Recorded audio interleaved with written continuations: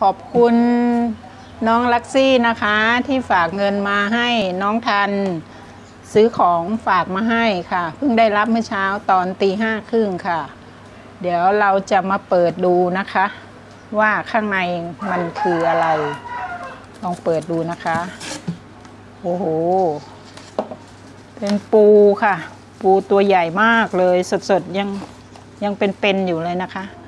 ขอบคุณมากมายเลยนะคะ น้องลักซี่น้องทันที่ส่งของมาให้ได้กินได้ทาน ขอบคุณเป็นอย่างสูงเลยค่ะ สดๆเลยค่ะ เดี๋ยววันนี้เราจะไปทำอะไรกินดีเนะคะ ไปนึ่งทำน้ำจิ้มซีฟู้ดใช่ไหมคะทำให้ลูกๆกินในครอบครัวค่ะ ลำพันลำพังเรา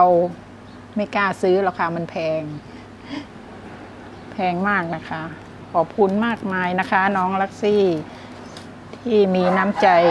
ดีงามมากเลย ส่งของมาให้กิน ขอบคุณน้องทันด้วยนะคะ ส่งมาให้ได้กินได้ทาน รักทุกคนเลยค่ะ ในแก๊งซี่ซี่ป้าโมพี่กิ๊กรักมากมายเลยนะคะ